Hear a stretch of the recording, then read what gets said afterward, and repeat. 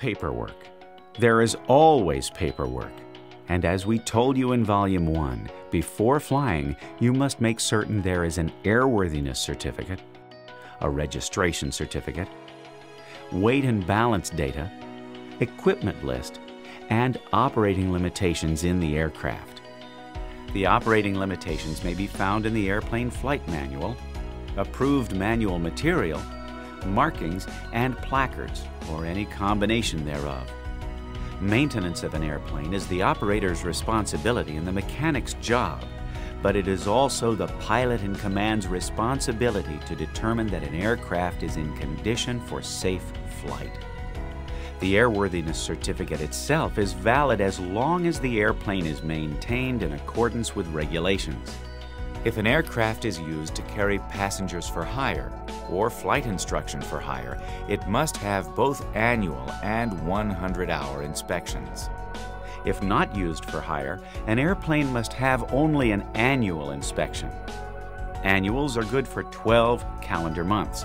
If done on July 12th this year, it is good until the end of July next year.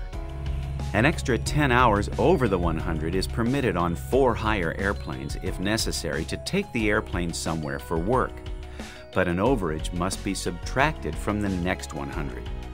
If one is due at 3,300 two and a half hours and it is done at 3,300 nine and a half, then the next one is due at 3,400 two and a half.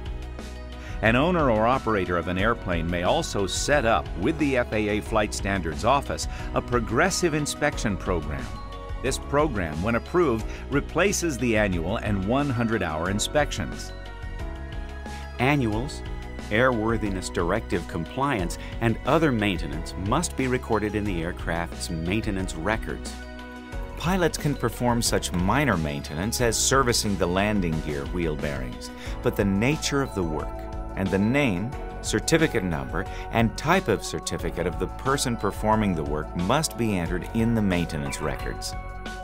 If work is done that substantially affects an airplane's operation in flight, or if it has been altered in a manner that may have appreciably changed its flight characteristics, the airplane must be flight tested by a pilot with at least a private pilot certificate and approved for return to service prior to being operated with passengers on board. Before being used, a transponder must have been tested and inspected within the preceding 24 calendar months. Emergency locator transmitters, or ELTs, are installed in most aircraft in the United States. They can be activated manually or automatically activated by a strong impact. Used to locate downed aircraft, analog ELTs transmit on the emergency frequencies of 121.5 and 243.0 MHz while digital ELTs transmit on 406 MHz. Non-rechargeable ELT batteries must be replaced when 50% of their usable life expires or when the emergency locator transmitter has been activated for more than one cumulative hour. Analog ELTs may be tested during the first five minutes after any hour. Digital ELTs must be tested per manufacturer guidelines.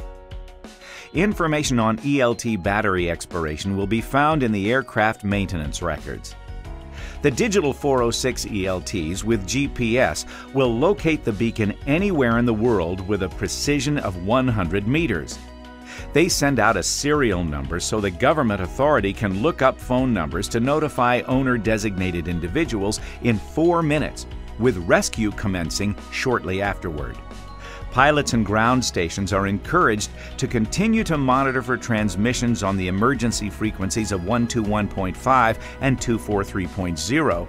Many 406 beacons are also equipped with 121.5 transmit capability.